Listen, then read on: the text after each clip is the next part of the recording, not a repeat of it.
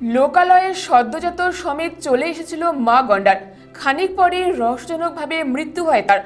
জলদাপাড়া জাতীয় উদ্যান সংলগ্ন সিসামারা এলাকার এই ঘটনায় উদ্বিগ্ন ও দিশেহারা বন দফতর, কারণ ইতিপূর্বে ওই ধরনের কোনো ঘটনার নজির নেই জলদাপাড়ায়।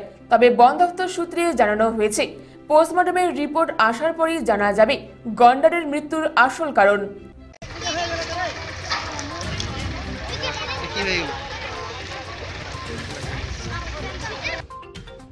লোকালয়ে সদ্যজাত সমেত চলে এসেছিল মা গন্ডার।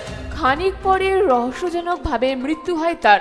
বুধবার দুপুরে জলদাপাড়া জাতীয় উদ্যান সংলগ্ন সিসামারা এলাকার এই ঘটনায় উদ্বিগ্ন ও দিশেহারা বন দফতর। কারণ ইতিপূর্বে ওই ধরনের কোনো ঘটনার নজির নেই জলদাপাড়ায়। ঘটনায় বনমন্ত্রী রাজীব বন্দ্যোপাধ্যায় বলেন, প্রাথমিকভাবে মনে করা হচ্ছে অ্যানথ্রাক্স, তবে পোস্টমর্টমের পরই আসল কারণ স্পষ্ট হবে। বুধবার ছয়টি কুনকিহাতি ও ক্রেনের সাহায্যে গন্ডারটির মৃতদেহ জঙ্গলে নিয়ে যাওয়ার আগেই সন্ধে নেমে আসায় পোস্টমর্টম করা সম্ভব হয়নি। ফলে ওই গন্ডারটির মৃত্যুর হাসির কিনারার জন্য আরও চব্বিশ ঘণ্টা অপেক্ষা করতে হবে বলে জানিয়েছেন জলদাপাড়া বিভাগের ডিএফও কুমার বিমল।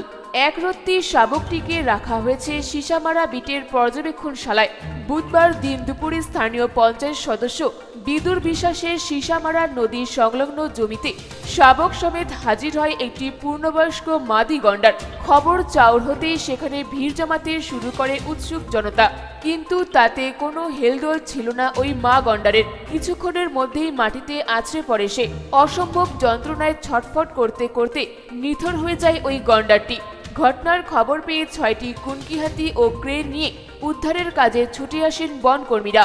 বনমন্ত্রী অ্যানথ্রাক্সের কথা বললেও পোস্টমর্টমের রিপোর্ট না পাওয়া পর্যন্ত এ নিয়ে কোনো স্পষ্ট বক্তব্য রাখতে রাজি নন বনকর্তারা। ডিএফও কুমার বিমল বলেন, ঘটনাটি একেবারেই অস্বাভাবিক। পোস্টমর্টম ছাড়া গন্ডারটির ওই রহস্যময় মৃত্যুর কারণ বলা সম্ভব নয়, তবে শাবকটি সুস্থ আছে।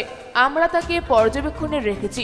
সম্পূর্ণ সুস্থ অবস্থায় ওই একরত্তি শাবককে জলদাপাড়া পূর্ব রেঞ্জের সিসামারা বিটের পর্যবেক্ষণশালায় রাখা হয়েছে। শাবকটি আকারে এতটাই ছোট যে আপাতত তাকে জঙ্গলে ছাড়া যাবে না। ফায়ারম্যানের কিবা করে লাভ আছে। আরে উপরে উঠে দেখ না।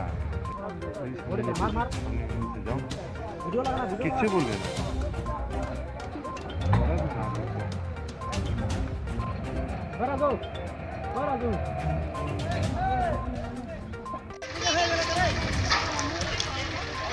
কি হয়ে গেল?